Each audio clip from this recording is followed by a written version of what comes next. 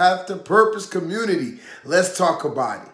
Appreciate all contributions. Now, people add on to you and contribute to you in different ways in your life. And it's great.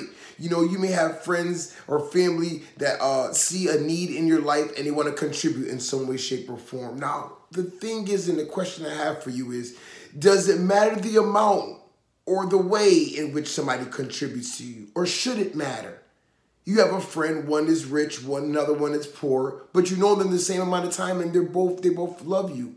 Now, of course, the one that has more financial means may give you a little bit more or a little more elaborate, right? When they do give, but doesn't make it any more important than the contribution of the person that doesn't have as much resource, but still out of their whatever they do have, sacrifice and give you something.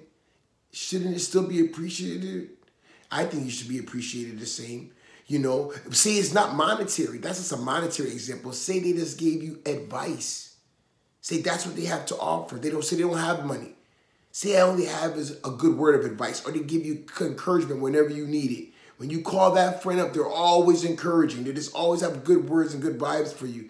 Isn't that something you should appreciate?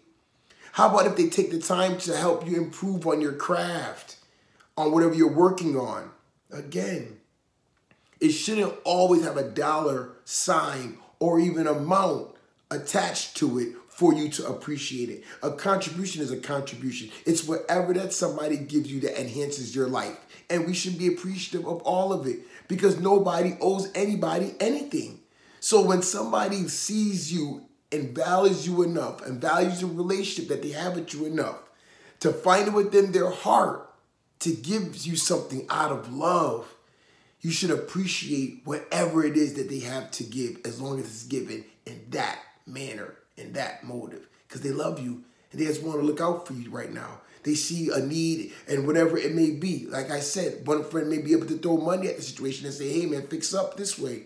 But somebody else may see another need and they add in this way because they can't do it in a monetary way. But should it still be appreciated? Yes. And that's what we're talking about at Path to Purpose today. Appreciate all contributions that people that love you and care for you offer you and give you because that is how you want to view the world. You see, you be careful of where you're standing today. That tomorrow you're standing in a different position and the world is looking at you with the same lens. That oh, you didn't give me enough, so I don't appreciate that. How would you feel? You see, always think about things in an empathetic way. Put yourself in that other person's shoes. So be appreciative of all contributions that people that love you and care for you are around you, rooting for you, offer you to give you to push you forward in whatever way they see fit and comfortable for them to do so. That's what it's all about, y'all. Appreciate all contributions.